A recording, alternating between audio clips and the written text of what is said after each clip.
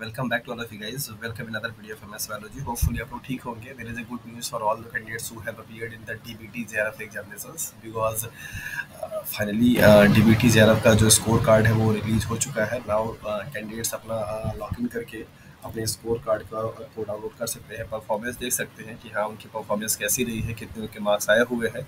ऐसा करने के लिए आपको सिर्फ़ और सिर्फ़ डीबीटी के जो ऑफिशियल वेबसाइट्स है, आपको वहाँ पर जाना है।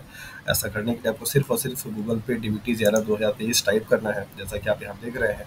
पहला जो लिंक खुल करके आएगा उस पर आप क्लिक कीजिए। क्लिक करने के बाद आपको जो इंटरफेस खुल करके आएगा, यहाँ पर आपको दिखाई दे रहा होगा दैट इज़ दिस वन आप यहाँ पर इस पर क्लिक करेंगे score card gate B and B का।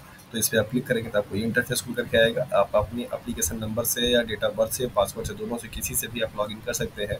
जैसे इस पर आप क्लिक करेंगे तो आपको एक नया इंटरफेस खुलेगा और जहाँ पर आपको ये डिटेल डालने होंगे और डिटेल जैसे डाल डाल करके आप सबमिट करेंगे तो आपको यहाँ पे आपका तुरंत जो स्कोर कार्ड होगा वो क्या होगा? रिलीज़ हो जाएगा। मतलब आपको दिख जाएगा। तो आप उसमें देख सकते हैं कि आपकी कट ऑफ़ कितनी गई हुई है कैटेगरी वाइज और आपके मार्क्स कितने आए हुए हैं।